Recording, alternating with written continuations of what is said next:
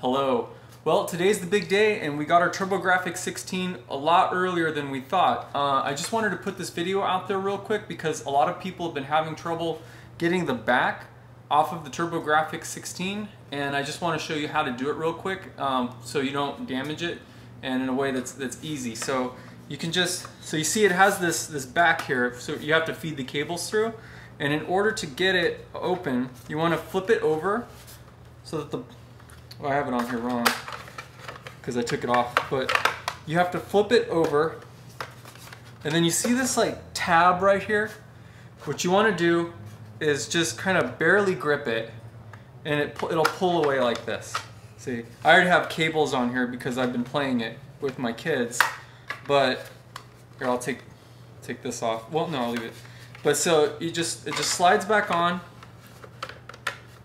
like that and it, as you can see it's really hard to get off. But if you just if you just flip it over hold it towards you and on this little back spot right here grip it and pull it comes right off. And then you can feed the cables through.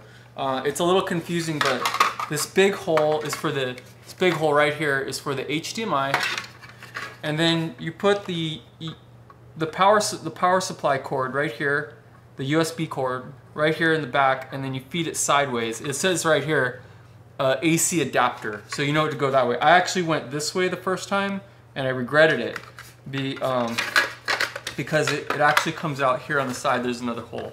So you have to feed everything in the right place. But once everything's in place, it locks in and it's, it's easy to get off. So I just thought I'd throw this video up there real quick. I'm uh, right now in the middle of working on the review. I'm playtesting everything and I'll get back to you with that as soon as I can. Hopefully this was helpful.